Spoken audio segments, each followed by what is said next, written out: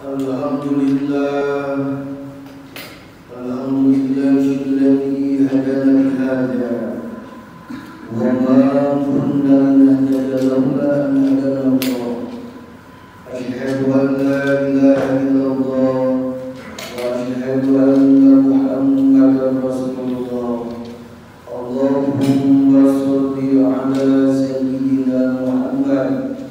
وعلى آله وأصحابه أجمعين.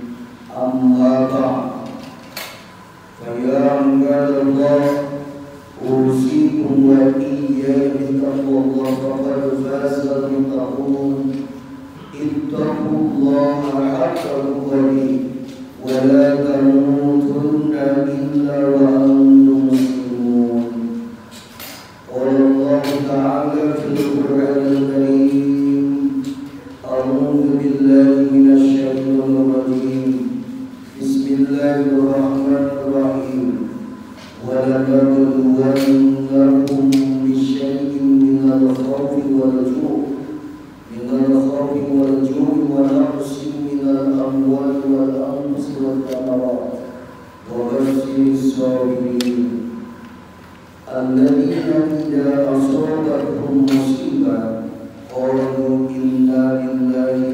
وإنا إليه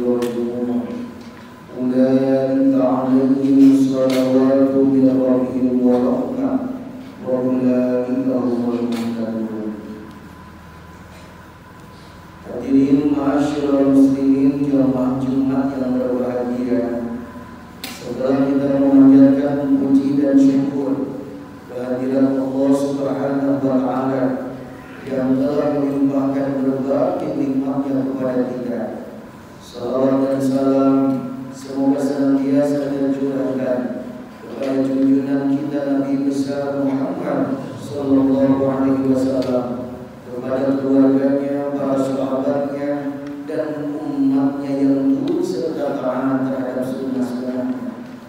Semoga kita semua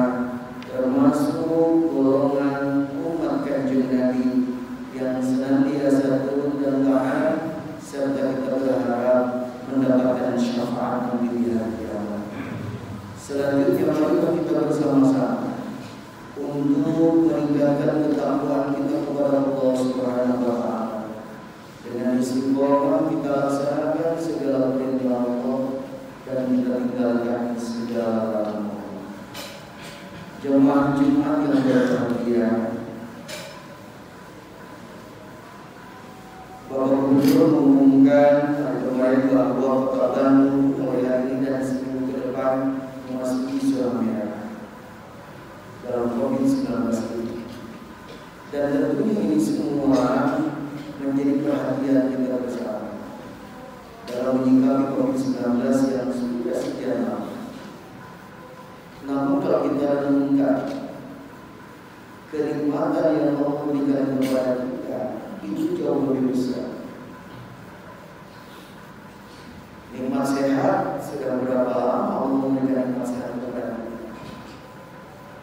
Tapi banyak di antara orang-orang yang mendapatkan ujian ketika mereka sakit seolah-olah Allah sudah memberikan penderitaan kepada padahal kenikmatan yang Allah luar biasa. Wabillahi ala rabbikum wa bihamdihi maka limatana dalam manusia. Adapun ujian yang Allah berikan kepada kita tentunya. Di dalam Al-Quran surah Al-Baqarah ayat 155 Allah menyatakan wala nabluwannakum bisyai'in sungguh pasti akan kami akan menguji kalian semua bisyai'in ay biqalil dengan sedikit saja. Minal khawf dari rasa takut dan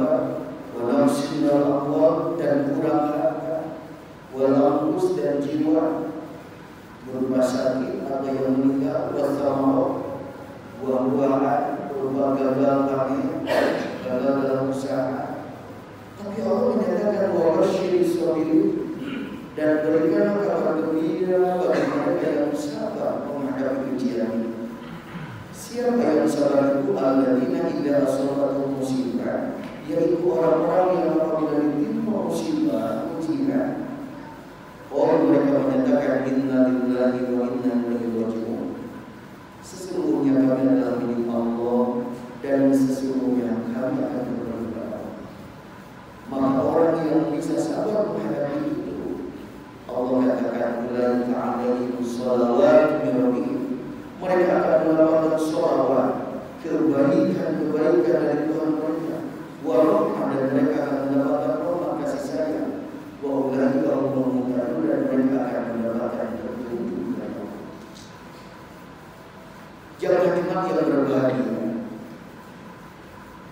Tidak sedikit di antara kita begitu menghadapi ujian termasuk COVID-19 ini disikapinya dengan gelisah dan sehingga sesungguhnya dia tidak sakit tapi karena takut, karena gelisah, karena panik melihat orang yang meninggal, melihat orang yang sakit.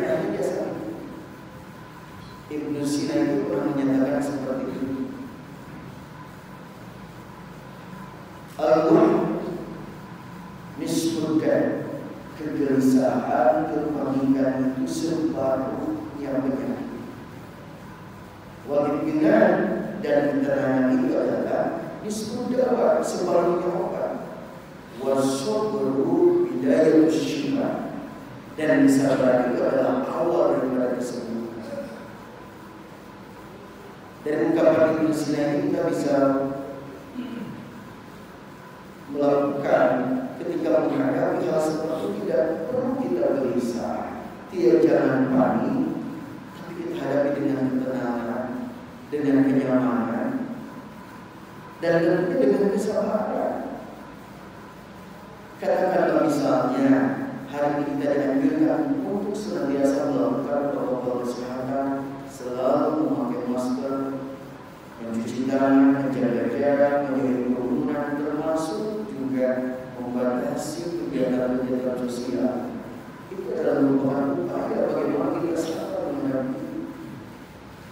Karena tidak sedikit orang yang tidak sabar malah mengeluarkan sesuatu ungkapan-ungkapan yang menyebabkan orang itu jadi gelisah. Nah untuk itu jemaah Jumat yang berbahagia, mari kita hadapi ujian ini dengan tenang, dengan sabar. Yakin bahwa ujian ini dari Allah. Dan bagaimana kita menyikapinya? Yang pertama, yakini bahwa ujian ini merupakan ekspresi cinta Allah kepada kita atau wujud sayang Allah Subhanahu wa taala agar kita lebih matang dan dewasa dalam menghadapi persoalan. Jangan berprasangka buruk soal ujian ini merupakan murka Allah Subhanahu wa taala. Dalam sebuah hadis Rasulullah SAW menyatakan siapa yang dikenal Allah menjadi orang yang baik Maka dia diberi cobaan Lalu yang kedua Yakini bahwa makin besar Dan banyak cobaan yang Allah turunkan kepada kita Makin besar pula pahala Dan saya Allah yang akan dilimpahkan kepada kita. Dengan catatan Kita bisa menyelesaikan setiap ujian itu secara Rasulullah SAW menyatakan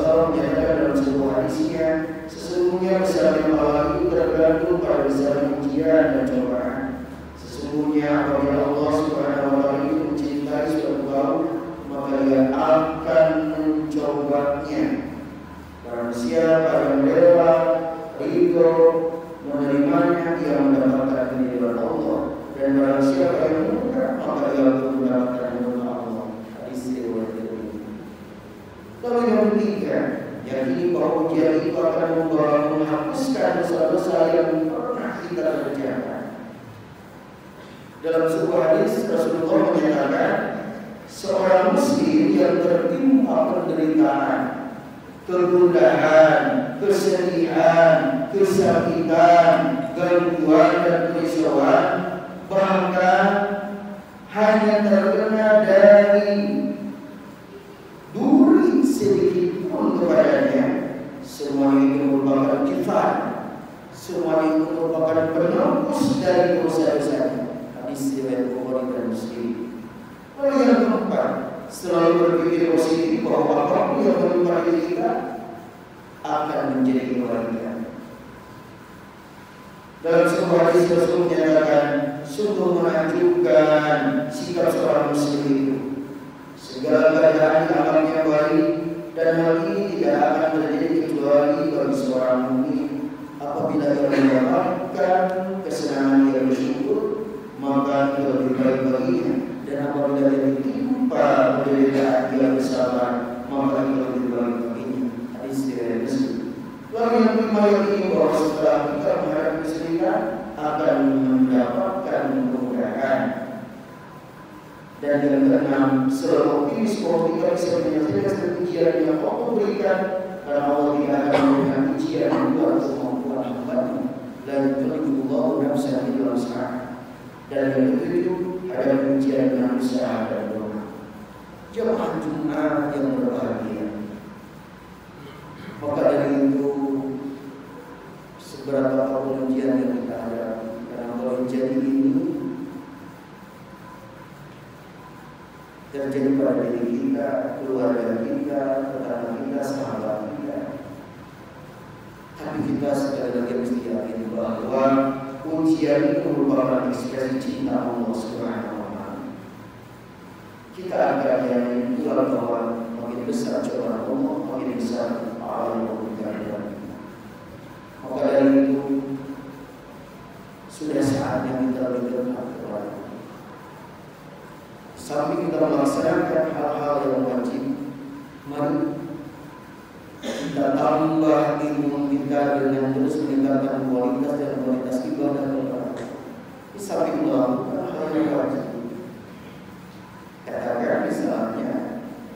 sholat berjamaah dan sholat subuh berjamaah itu sebuah kita untuk menambah ilmu dalam barang siapa yang sholat subuh berjamaah maka dia itu sedang berada dalam jaminan pada waktu barang siapa melakukan sholat isya berjamaah maka dia sedang ada dalam jaminan Allah sampai waktu malam sampai subuh. Ini sebuah syarat. Kita tetap menjaga protokol kesehatan, tapi jangan sampai kita meninggalkan sehingga kita jadi tidak sholat berjamaah. Kita tetap sholat berjamaah, sekalipun mungkin ada batasan tidak tersendiri, maka kita laksanakan secara berjamaah dengan dua. Tambah lagi tentunya dengan menghidupkan sunnah Rasul untuk menguatkan kita di malam yang mulai bangunkan keluarga kita untuk melaksanakan sholat tahajud. Tiada hari tanpa sholat berjamaah, tiada hari tanpa membaca Al-Quran, tiada hari tanpa sholat duha, tiada hari tanpa menjaga wudhu, tiada hari tanpa sedekah, tiada hari tanpa istighfar. Sudah saatnya kita menghidupkan sunnah-sunnah Rasul dalam keseharian kita. Semoga ini juga merupakan bentuk kesabaran kita, ketenangan kita dalam menghadapi Jadi sabar bukan berarti diam saja, tidak ada upaya, tapi upaya kita dan doa kita. Semoga Allah senantiasa menguatkan kita, keluarga kita,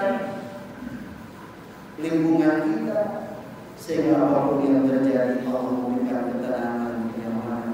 Dan dengan ini semua, ketika kita itu menyikapi ujian ini Allah pun semakin ridho kepada kita. Barakallahu li wa lakum fil Qur'anil azim wa nafa'ani wa iyyakum bima fihi min al-ayati wa dhikril hakim wa taqabbal minni wa minkum tilawatahu innahu huwal ghafurur rahim.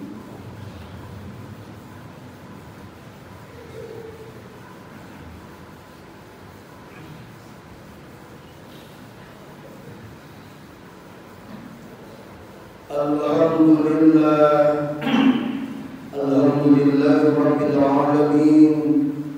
الذي خلق الإنسان في أحسن تقويم. أشهد أن لا إله إلا الله وأشهد أن محمدا رسول الله. اللهم صل على سيدنا محمد وعلى آله وأصحابه أجمعين أما بعد. فيا عباد الله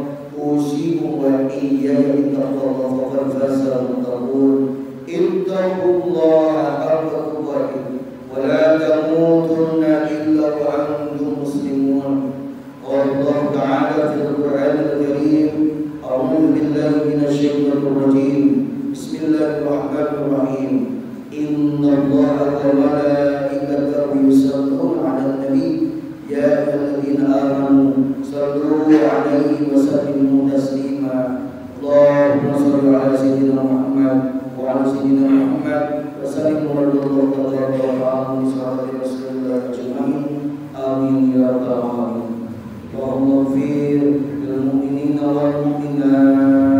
والمسلمين والمسلمات.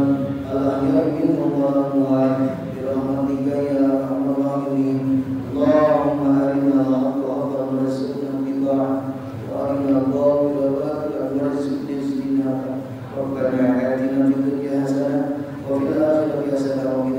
لي ولكم أقيموا الصلاة